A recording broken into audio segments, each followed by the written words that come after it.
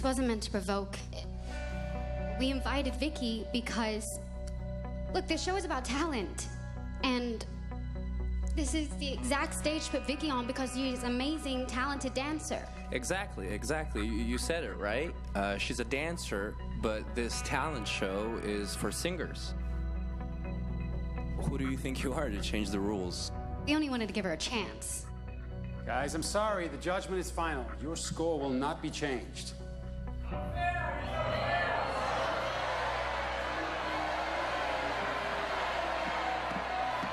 There's no need to turn this into a scandal.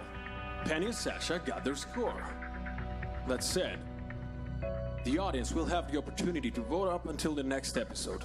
As always. I will see if that's gonna be enough to keep them back in the running. We still have a chance then. Right. Well, we're sorry to say goodbye to your guest. You didn't get a chance, unfortunately.